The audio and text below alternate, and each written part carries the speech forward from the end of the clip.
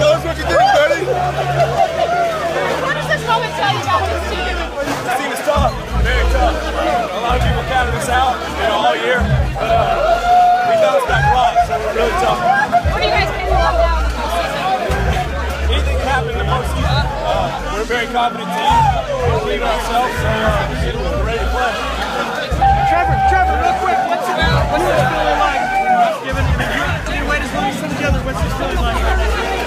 It's awesome, man. Uh, you know, they're, go- they're feeling like winning, you know, that's why we play.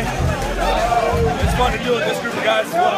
When it's a grind like this to get to this point, since you're elite or hey, we still got business left?